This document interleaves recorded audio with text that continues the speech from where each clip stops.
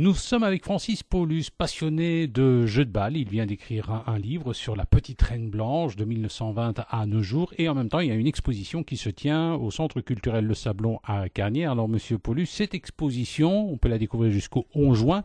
Qu'est-ce qu'on peut voir?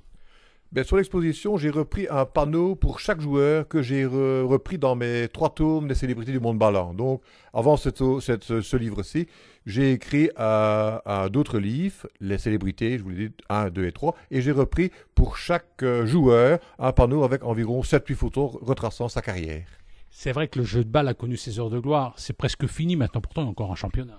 Oui, c'est vrai. Disons que c'est parti. Avant, on jouait beaucoup dans la région du centre, région de Charleroi. Il y avait des, de très excellentes équipes. Quoi. Maintenant, c'est plutôt parti vers le Brabant flamand, région de Basse-Route, euh, euh, Kersken, quoi. Euh, avec assez bien quand même de joueurs francophones qui jouent dans la région euh, néerlandophone, quoi. Alors, cette exposition nous permet de redécouvrir des, des, visages connus. Je pense par exemple à Léon Cassard, célèbre joueur de jeu de balle. Bien sûr, c'est Monsieur Jeu de balle, le Roi Léon, 16 titres nationaux de balle pelote. Ben, c'est le summum, je vais dire, du jeu de balle. À l'heure actuelle, nous avons un, allez, je vais dire, un joueur, une étoile montante qui est quand même Benjamin Doki. À peine à 30 ans, il a quand même déjà euh, six grandeurs. Quoi.